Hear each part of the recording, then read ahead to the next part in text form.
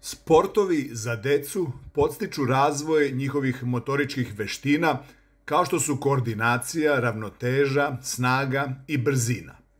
Kroz učešće u različitim sportskim aktivnostima, deca stiču veštinu upravljanja svojim telom na različite načine, ali isto tako sport im omogućava socijalizaciju i razvijanje takmičarskog karaktera – što im sve pomaže za kasnije životne borbe koje slede. U mlađem uzrastu ne možete vi dete od 3-4 godine sad nešto, ono mora nešto da voli da bi, da bi bio tu, da bi išao.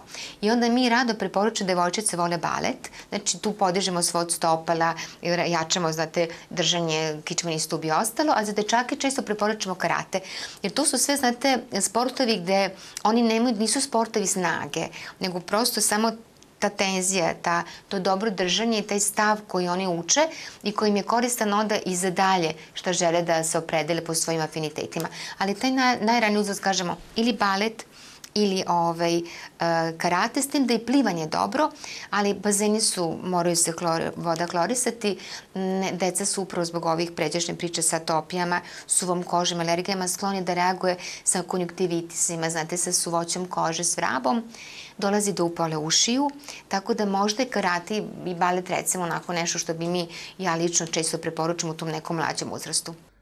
Procenite, naravno uz pomoć lekara i trenera, psihofizičku zrelost vašeg deteta. Ova procena će vam pomoći da odredite najbolje vreme za početak organizovanog bavljenja sportom. Psihofizičko sazrevanje dece je individualno, tako da ne treba žuriti sa ovim odlukama.